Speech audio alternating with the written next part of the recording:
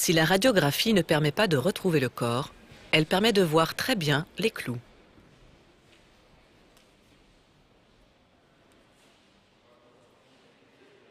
Les déformations du bord de la toile sont riches d'enseignements. Quand on prépare une toile, on la cloue sur un châssis et on l'humidifie pour qu'en séchant, elle se tende au maximum.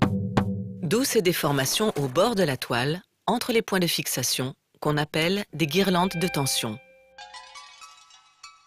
Leur forme, voire leur absence, sont des indices qui permettent de savoir si la toile a été recoupée une fois l'œuvre achevée. Pour certains spécialistes, comme Ernst van de Wettering, l'analyse des guirlandes de tension de la Bethsabée montre que le tableau a été recoupé. C'est ce qui expliquerait les anomalies de la composition. La position très bord cadre de la vieille femme et le format carré du tableau, totalement atypique pour l'époque. De nombreuses peintures sur toile ont perdu leur format d'origine. Parce qu'il est très facile avec une paire de ciseaux d'en découper un morceau. Et les motivations sont variées.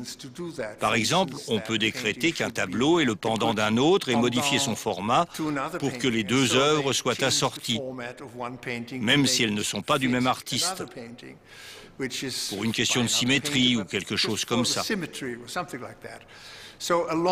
On recadrait souvent les tableaux autrefois. Il est possible de retrouver le format original en examinant la toile. Sur la Betzabé, on peut voir une couture qui passe par le cou et le corps de haut en bas de la toile.